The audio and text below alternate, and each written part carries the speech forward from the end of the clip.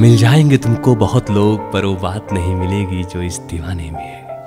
मिल जाएँगे तुमको बहुत लोग, पर वो बात नहीं मिलेगी जो इस दीवाने में है। तुम्हारे जाने से मर नहीं जाऊँगा। अभी बहुत कुछ बाकी इस पैमाने में है।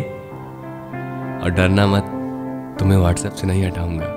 क्योंकि किसी को ब्लॉक करने में वो मज़ा कहाँ है यारो, जो स्टेटस दिखा के जलाने में है।